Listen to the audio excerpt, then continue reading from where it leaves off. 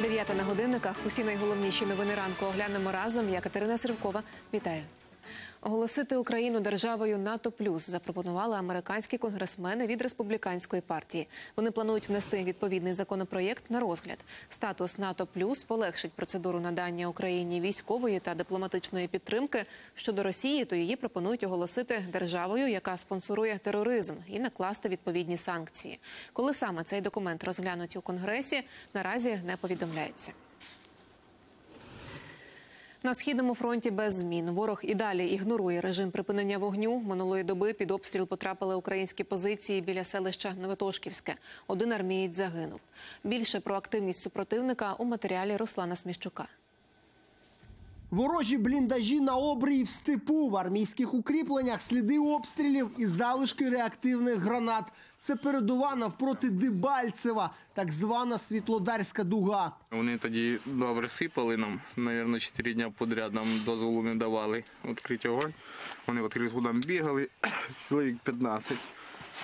І жінки, блін, відкрито нас насипали. І саме я стояв тут на спостережнику. Добре, що там був. Двері були відкриті і прилетіло сюди.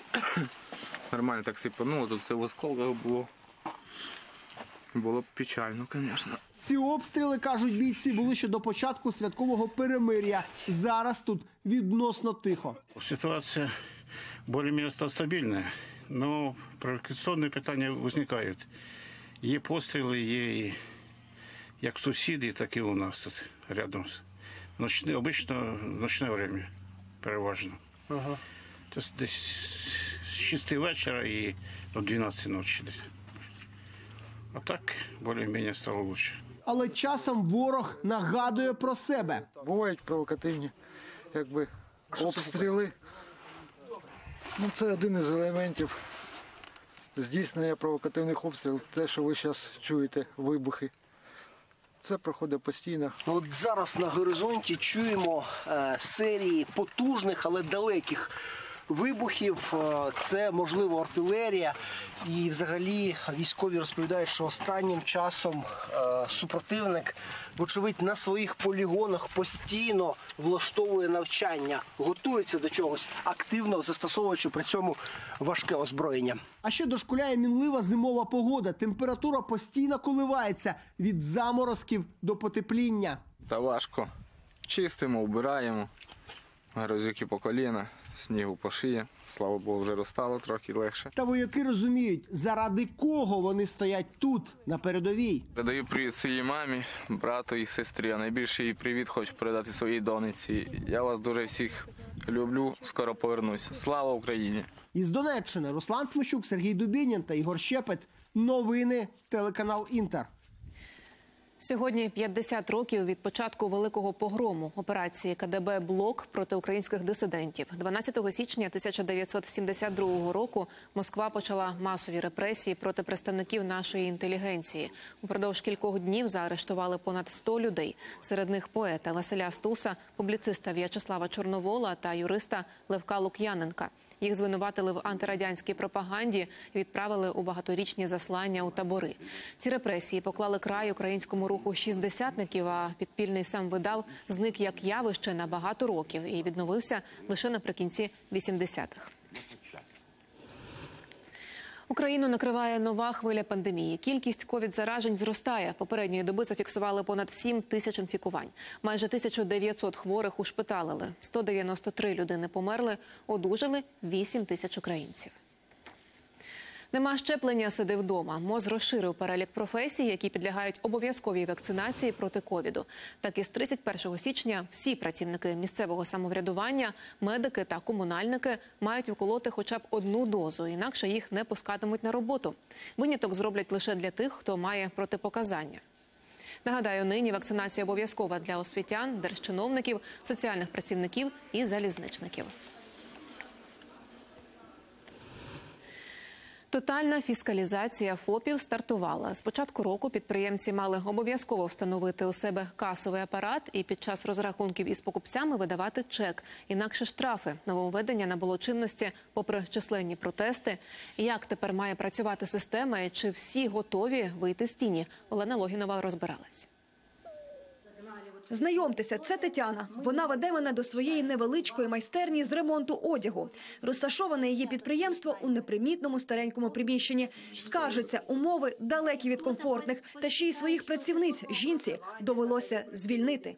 Была ФОПом второй группы, у меня было четыре найманных противника, но зная, что ведется с Нового года РРО, я была вынуждена уволить людей, потому что вот при таком бизнесе его вести просто нереально. Навантажение около 100 тысяч в год на маленького ФОПа просто никто не потянет.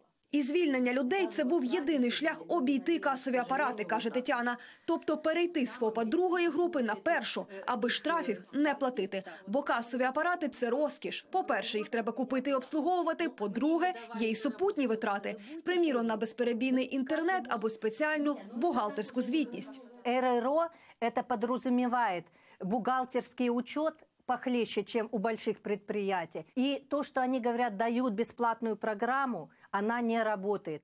Тож що саме передбачає закон? Касові апарати мають встановити у себе ФОПи другої, четвертої групи. Усі ті, хто мають найманих працівників. Це маленькі кав'ярні, пекарні, перукарні, інтернет-магазини, секунди. Причому незалежно від доходу. Що збирається контролювати держава? Скільки чашек кава продав? Тобто тут нам треба було переглядати підприємців, яким касовий апарат апріорі не потрібний. Але той, хто не видаватиме клієнтові чека, отримає штраф за першу непроведену через касовий апарат операцію 100% від суми купленого, за другу і наступні 150. А оскільки закон уже 11 днів як чинний, то фопівців уже можуть штрафувати. Нема ніякого перехідного періоду для того, щоб підприємці могли спокійно запровадити касовий апарат. Нема гарячої лінії, на якій можна нормально зателефонувати, отримати консультацію. Тож у владі таки заговорили про поблажки і навіть відповідну поправку до закону подали. Відповідно до якої ми пропонуємо не застосовувати штрафи до фізичних осіб підприємців, щоб встановили реєстратори рахункових операцій до 1 лютого, оскільки е, були певні нарікання, були певні е, збої в роботі в роботі приватних операторів програмного забезпечення для РРО. Та це лише напівзахід. Попри всі протести, норма про обов'язкові касові апарати вже працює. Олена Логінова, Володимир Самченко, телеканал Інтер. Молочні експерименти практикують на Закарпатті. Понад п'ять років тому місцевий поліцейський зняв форму, здав зброю і почав готувати сири. Сьогодні він власник сироварні, де виробляють понад 15 унікальних видів продукту: чорний сир, жовтий, синій, зелений. Як один сон перетворив копа на кулінарного майстра. Знає Мар'яна Мартин. Щодня Олексій Синєльніков приходить у свою скарбницю, а радше темницю. Тут дозрівають його сири.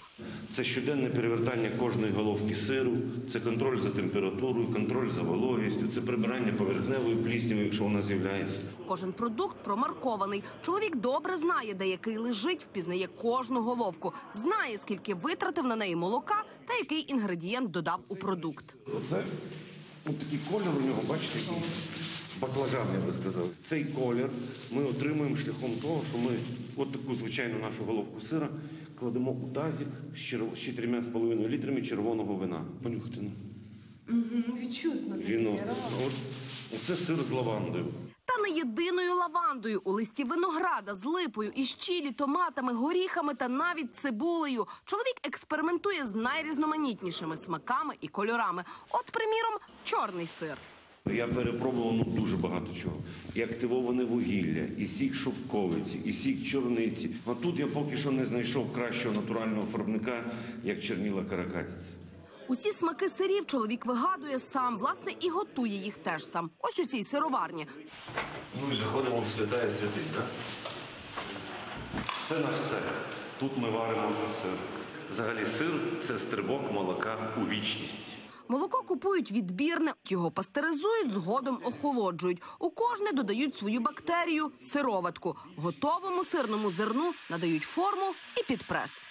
Після всіх процедур уже сформована грудка настоюється дві доби у спеціальному розсолі, сохне два дні і тільки після цього потрапляє на полиці темниці, де сир дозріває. Готовим до вживання він стає щонайменше через місяць. Раніше чоловік працював у поліції. Каже, йому буквально наснилося, що він вироблятиме сир. Дружині Світлані, теж колишній поліцейський, і досі не віриться, що хобі чоловіка переросло у невеликий сімейний бізнес.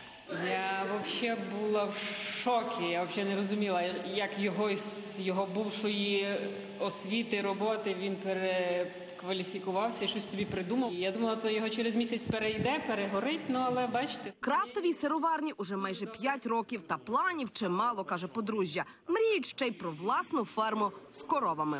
Мар'яна Мартин, Юрій Ковальов, телеканал Інтер, Закарпатська область.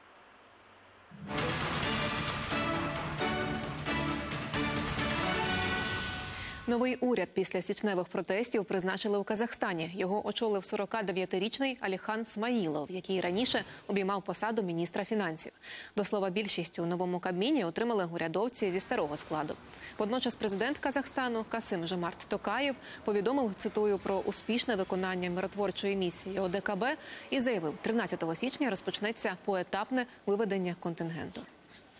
Через два дня начнется поэтапный вывод Объединенного миротворческого контингента ОДКБ. Процесс вывода контингента займет не более 10 дней. Считаю, что пришло время отдать должное народу Казахстана и помогать ему на системной и регулярной основе. На кордоні Вірменії і Азербайджану сталася стрілянина. Один військовий Азербайджану загинув. Ще троє вірменських солдатів зазнали поранень. Інцидент трапився у Кельбаджарському районі. Про перестрілку повідомили у міністерствах оборони обох країн. Відомства взаємно звинувачують одне одного у провокаціях і початку стрілянини. Остання така сутичка між державами відбулася торік у листопаді. Тоді з боку Азербайджану загинуло семеро військових. Ще десятьох поранили.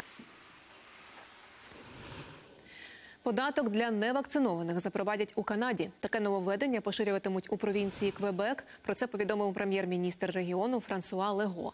Яку саме суму нещепленим доведеться віддати, ще невідомо. Проте посадовець запевнив, що вона буде цитую значною. Збір запровадять для людей, які не вкололи жодної дози вакцини проти коронавірусу.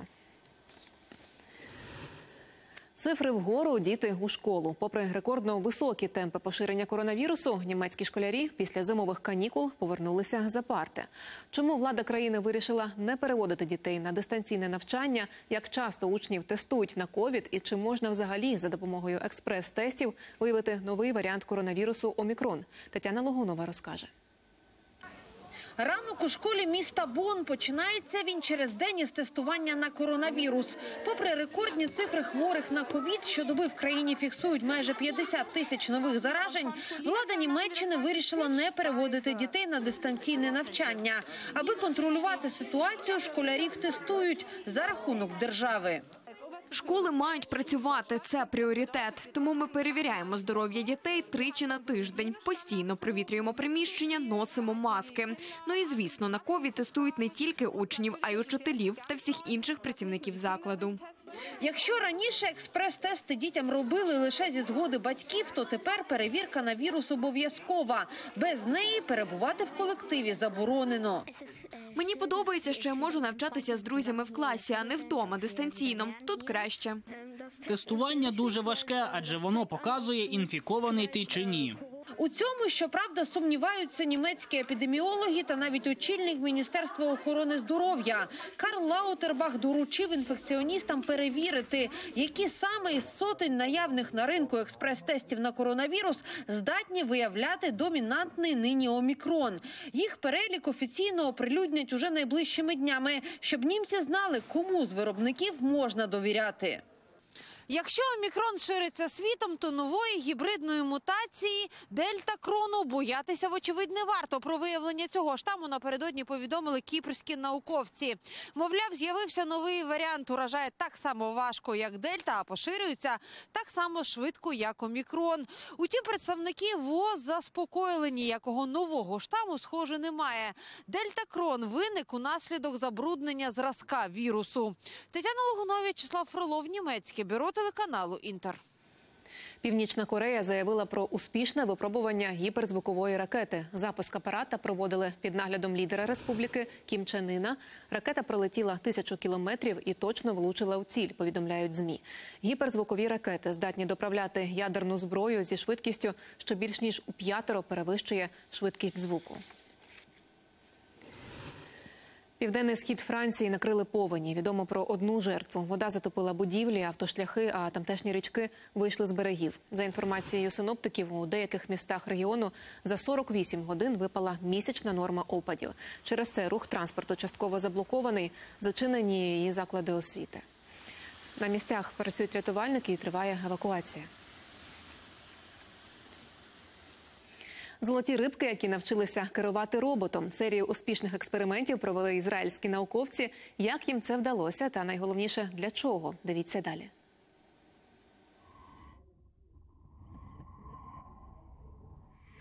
На перший погляд на цих кадрах звичайнісінька золота рибка. Однак ізраїльські вчені іншої думки. Дослідники встановили, золоті рибки здатні орієнтуватися в абсолютно нетиповому для них середовищі та навіть керувати роботом.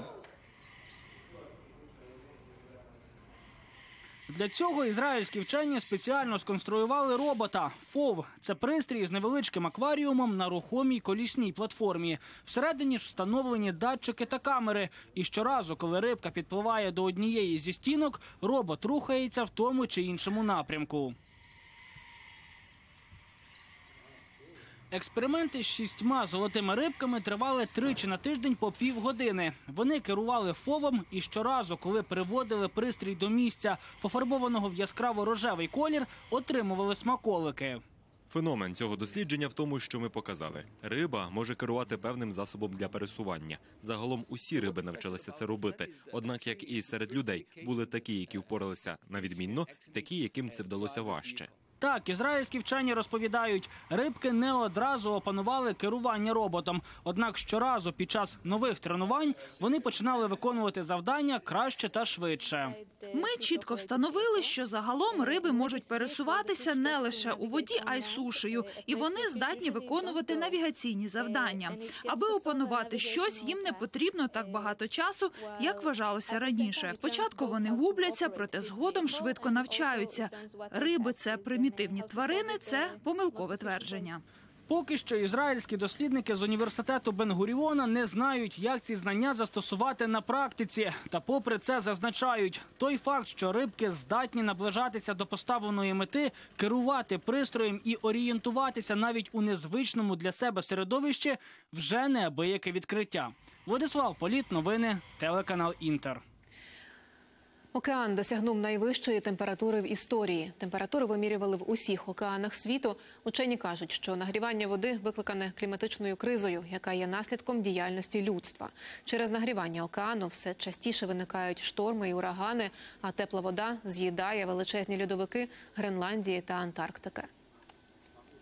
І на цьому ми завершуємо. Як розвиватимуться події дня, дізнаєтеся у випуску опівдні. А мені час прощатися. Успішного вам дня та бережіть себе.